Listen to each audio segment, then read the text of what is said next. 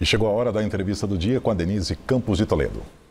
E nós vamos falar agora de cenário político e eleições municipais. Eu converso com o Rogério Schmidt, que é cientista político do Espaço Democrático. Rogério, boa noite. Boa noite, Denise.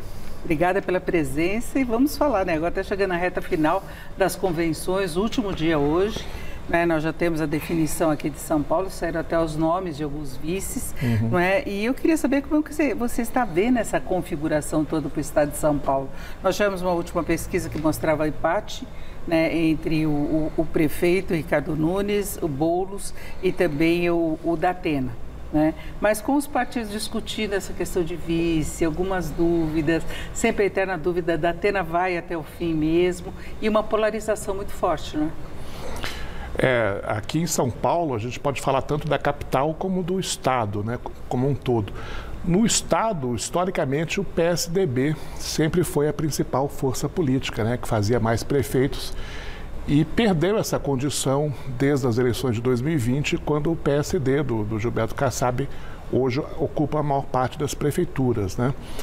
É, então essa eleição vai ser interessante para determinar se o eleitorado vai ou não sufragar essa essa movimentação política dos prefeitos. Na capital, a eleição vai começar a esquentar agora, como você falou, não é? é me parece que interessante que em São Paulo, como também no Rio de Janeiro, não está acontecendo essa polarização entre o PT e o PL, né? entre Lula e Bolsonaro. Né? O PT sequer tem candidato e o PL indicou só o vice do, do Ricardo mas Nunes. O, o PL está é apoiando. Né? Sim, sim, mas é a primeira vez que o PT não lança um candidato próprio à prefeitura aqui da capital, né? Aliás, foram 13 capitais que dessa vez o PT abriu mão.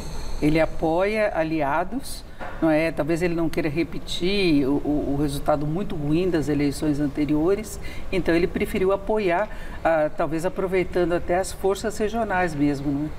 É, acho que todos os partidos têm essa característica, né? Eles avaliam se é viável ou não ter candidato próprio e se a resposta for negativa, eles apoiam alguém que, do mesmo campo político que tenha o que se perceba como mais competitivo, né? É, mas aqui a gente precisa ainda esperar um pouquinho, Denise, porque ainda tem um prazo agora para o registro efetivo das candidaturas. Né? Não necessariamente todos os candidatos que são aprovados nas convenções acabam sendo registrados como candidatos na justiça eleitoral. Né? Então ainda dá tempo aí de aparecerem algumas é, surpresas, tanto em São Paulo como em outras cidades também. Né? É, na semana passada nós tivemos aqui o presidente do Tribunal eh, Regional Eleitoral, uhum. não é? e ele falava exatamente disso, que até 20 dias antes um candidato pode desistir e trocar outro mesmo tendo registro. Sim, ainda tem essa sim. margem, tem um prazo para o registro, é. os nomes, mas ainda tem um, um prazo adicional para desistência. Pois é, então é, incertezas ainda não foram totalmente eliminadas do cenário, né? Mas aqui na capital, aparentemente, nós estamos caminhando, é, salvo uma grande surpresa, eu, a, a minha avaliação pessoal, para um segundo turno entre o Ricardo Nunes e o Guilherme Boulos. Agora tem assim, tem a força de, de, da Tera, até pelo recall dele como apresentador, ele sai nas ruas, muita gente nem sabe que ele é candidato, uhum. mas que o conhece já há muito tempo, que ele tem um trabalho em TV, há, há muito Sim. tempo ele é muito conhecido. E Pablo Massal também é conhecido pelo trabalho dele não é através de redes sociais, ele nem deve ter espaço na TV, ele pode participar de debates e sabatinas, mas espaço na propaganda pelo tamanho do partido dele. Né? E ele definiu vice ontem. Mas ele já veio com força também na pesquisa. Na, na sua avaliação, tem possibilidade de uma virada em relação a isso? O eleitorado já está mais ou menos sabendo o caminho?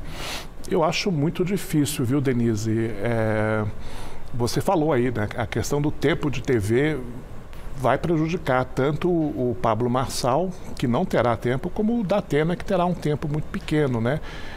E outra questão importante, nenhum dos dois conseguiu montar uma frente, uma coligação é, pluripartidária, né? capaz de mobilizar vereadores, cabos eleitorais. Então, os dois, esses dois nomes, o Marçal e o Datena, têm um recall muito grande, não é? Mas me parece que na hora da, da onça beber água, né, o que normalmente costuma contar mais nas eleições é tempo de TV, é estrutura de campanha E, então essa é mais uma razão que, que sugere, não é? Claro, podem acontecer surpresas, mas o cenário básico é que eu acho que todos os, os personagens estão trabalhando é um segundo turno entre Bolos e Nunes. E a gente precisa mencionar também a deputada Tabata Amaral, né? Sim. Que também não tem uma coligação muito grande, mas tem, tem um tempo de TV maior do que seu, esses outros dois nomes, não é? É, e terá também uma, uma, uma, um arco de alianças que pode fazê-las até surpreender na reta final. É, e agora definitivamente ela desistiu de Datena, que ela contava com, com ele como vice, ele deu essa palavra de início, acabou mudando de partido e sendo candidato próprio do PSDB. Ela anunciou Lúcia França, que é mulher do ministro França, Márcio França. Ela já uhum. foi candidata ao governo de São Paulo junto com Fernando Haddad nas últimas eleições e agora vai ser uma chapa por sangue. Pois é, é... São duas mulheres, as duas do mesmo partido. Exato, é. Então, se eu fosse apostar assim num, num ter, numa terceira via que possa ir se mostrando viável ao longo da campanha, eu, eu acho que essa terceira via tende a ser a, a deputada Tabata Amaral, ainda que de novo ela tenha muito poucas chances de chegar ao segundo turno, a não ser por uma grande surpresa, né? É, inclusive ela perdeu algum espaço nas últimas pesquisas de intenção de voto, né, talvez por falta de tanto espaço como os outros e que os outros tinham novidades também a anunciar. Agora, nessa configuração aí, dessa mudança partidária toda que nós tivemos, por exemplo, o MDB, ele chegou, está com 838 prefeituras, pretende chegar a 900, a de Kassab passou de mil prefeitos no, no país, em São Paulo passa de 306, né, chegou a 306, pretende pretende ampliar mais, o PL também cresceu no embalo de Bolsonaro, o PT ah, pretende ampliar também o número de prefeitos e no caso do PT isso é importante até para a base de apoio de Lula, uma eventual nova configuração de ministério, não? É, o, o, PT especificamente não vem tendo um bom desempenho nas últimas eleições municipais, tanto em 2020, que o partido não elegeu nem 200 prefeitos na soma do, do Brasil, não é? mas em 2016 já tinha, foi aquela eleição logo após o impeachment da ex-presidente Dilma Rousseff. Né? E tem todas as investigações, é, toda a reação contrária. Então né? o PT sempre teve, acho que a, a única eleição em que ele conseguiu ter um desempenho bom para prefeito foi em 2012, quando, se eu não me engano, ele foi o terceiro partido que mais elegeu prefeitos. De lá para cá, vem caindo. É possível que recupere um pouco agora, mas é, provavelmente não vai aparecer ali entre os cinco partidos que mais elegerão prefeitos. Né? É, historicamente, o, o, atual MDB, ou PMDB, no passado, sempre é o partido que mais elege é, prefeitos no Brasil. Né? Normalmente, o PMDB barra MDB elege mais de mil prefeitos toda a eleição municipal. Na eleição de 2020 já caiu para cerca de 800 e se viu ameaçado ali pelo progressistas e pelo PSD, que elegeram os dois próximos de 700 prefeitos cada um. Então, para mim, a grande incógnita dessa eleição é qual será o partido que, na soma do país, vai eleger o maior número de prefeitos e ter uma chance real do MDB perder essa posição ou para o PSD ou para progressistas, né, que partidos que cresceram aí de 2020 para cá, filiando partidos, filiando prefeitos que foram eleitos por outros partidos. É, o que eu falava que chama atenção, muito de sabe que ele é secretário de Tarcísio de Freitas, ele é o presidente do partido, ele conseguiu ter esse relacionamento com os prefeitos e chamarem para o partido, e chamar para o partido hum. dele, né? E foi o que mais cresceu. É, em São Paulo o PSD cresceu muito no caso do PSDB, não é?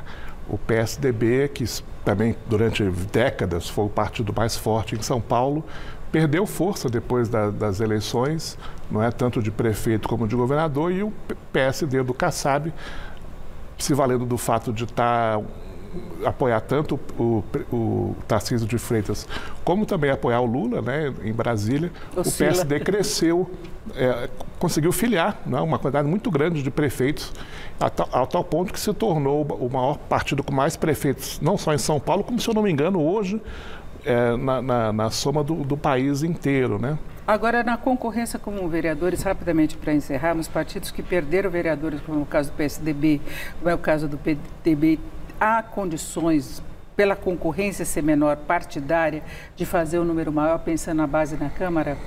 da Câmara de São Paulo, você São Paulo. diz? É, essa é uma questão interessante, né? O, o PSDB é, saiu muito enfraquecido, né? É, das urnas em 2022, agora teve uma disputa interna muito grande na Que convenção continua, né? entre os apoiadores do Datena e aqueles que queriam apoiar o prefeito Ricardo Nunes, mas tá, é uma questão em aberto. É isso, eu agradeço a presença do Rogério Schmidt, que é cientista político e espaço democrático. Muito obrigada, uma boa noite. Obrigado, Denise. Boa noite.